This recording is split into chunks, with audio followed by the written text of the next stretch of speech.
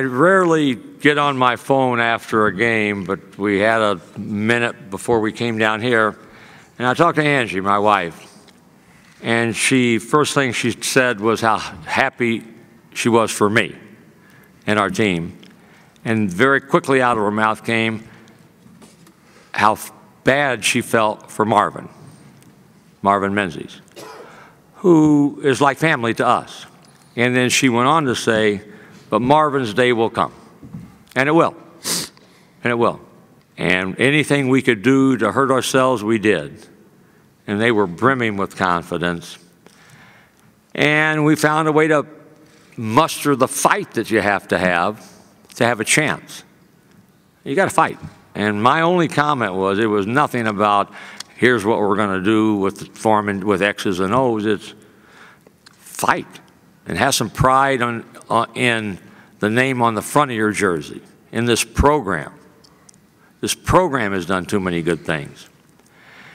And I said, I know I'm going to start two guys. I'm not starting the guys that normally start for us, but I didn't until I talked to the staff. I said, I'm starting you, Zylan, because you brought fight. It's got to be productive fight in the second half. And I'm starting Dakarai. And Dakarai and Diero didn't want to go home. And I think Dakarai tried too hard in the first half. But he's a prince of a man, and uh, nobody competes harder, nobody's for the team more than he is. And we found a way to make a basket, and then they did what we did in the first half. They couldn't make a basket. So we're appreciative that we're playing tomorrow, and we're going to be determined to play 40 minutes like we did the last 20. I feel like it was more of us.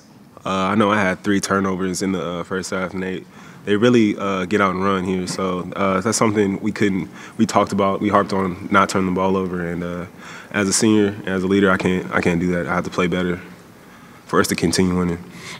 I've known Marvin for 18 years now, and I've watched how he handles every situation.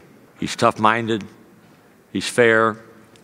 He's relentless in his approach to recruit. And this game is, it starts with recruiting. You need players. Everybody needs players. And he was working with less than a half-filled deck. Nobody's fault, but that's a fact. Tonight, we benefited from that. When they had limited numbers and they got in foul trouble, Mooring fouled out, and uh, to see a team compete like they did for 40 minutes tells you that he has the respect of his club, that they listen and they care. And that will win for you. Uh, Marvin can recruit, and Marvin can coach. So you combine the two, uh, I'm convinced he will be successful.